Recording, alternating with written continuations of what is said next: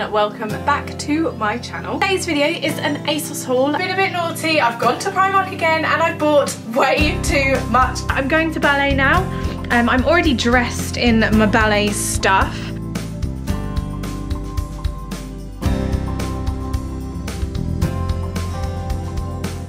Wow, it feels horrible.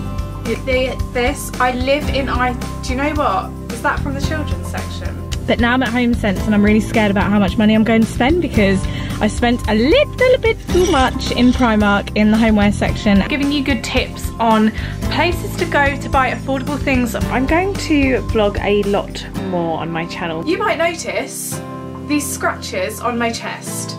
Yeah, great. Just for I'm about to film a video, my cat scratches my chest. If you loved the video, give it a thumbs up and I will see you next time.